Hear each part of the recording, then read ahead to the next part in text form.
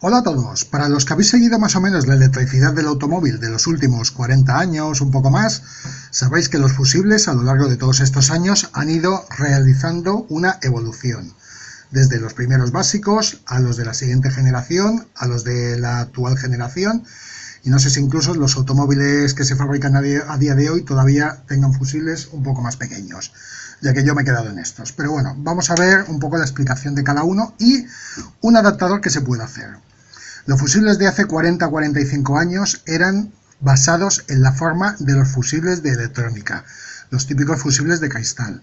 Era un tubo más o menos similar, podíamos encontrar algunos de cerámica con el hilo y otros de plástico, de diferentes intensidades. Estos son los de hace 45-40 años aproximadamente. A partir de hace unos 30 años aproximadamente salieron estos, que son los que ha estado bastante extendido en la mayoría de automóviles. Eran unos fusibles bastante anchos, muy útiles a la hora de ver cuando los mismos estaban fundidos, no como los actuales que son mucho más pequeños, un tanto más complicado el poderlo ver si no lo sacamos o poderlo ver de lado. Y lo dicho, podíamos tener diferentes remesas, formas de fabricación y demás. Ya cada fabricante pues adaptaba un poco a sus necesidades el fusible, la forma del mismo. Hay que decir que estos se iban, se guiaban por un código de colores. Según el color de cada fusible, sabemos de qué valores. Por ejemplo, los rojos eran de 10 amperios, los azules de 15 amperios, los verdes, este es de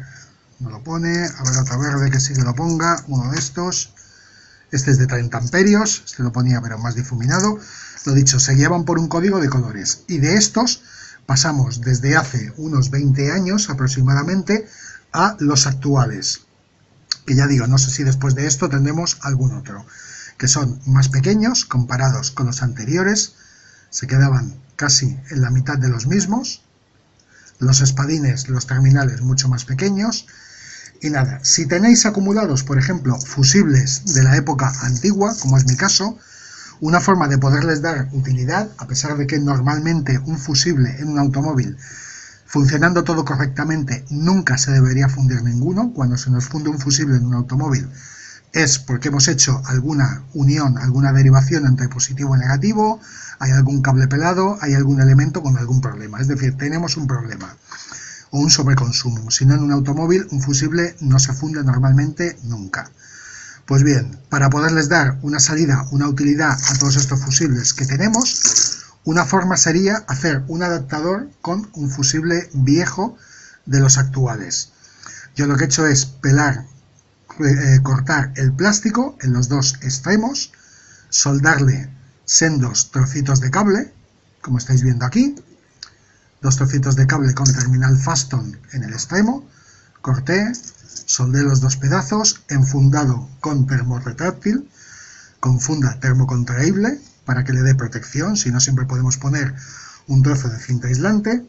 los terminales, caso de que los tengamos de este tipo, pues también o termorretráctil